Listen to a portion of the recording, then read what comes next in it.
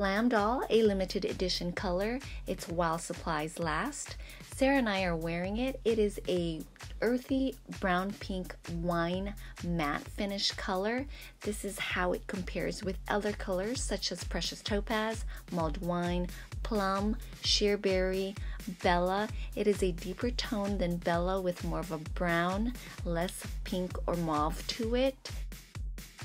Schedule your personalized lip consultation at Skincare Maui 808 463 4970.